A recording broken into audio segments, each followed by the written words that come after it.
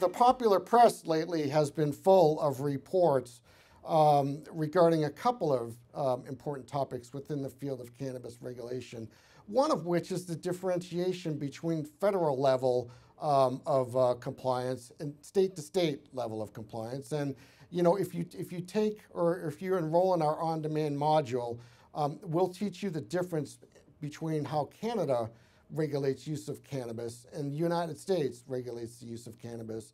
And you know, there are a number of different fundamental things um, in regulatory policy um, that are similar between the two countries and a number that are different. So some similarities include you know, regulation from an advanced manufacturing perspective, um, what excipients and what active pharmaceutical ingredients are in cannabis and cannabinoid derivative formulations, um, as well as traceability, complaint handling, and other potential adverse events associated with use of cannabis and cannabinoid derivatives, both for um, health indications like uh, pediatric epileptic seizures in the United States, um, all the way through to the other end of the extreme to the adult and recreational use population. So this module will cover all of those aspects. We'll give you readings and some on-demand um, lecture content delivered by myself and potentially other faculty members as well um, to teach you about uh, what the cannabis regulation field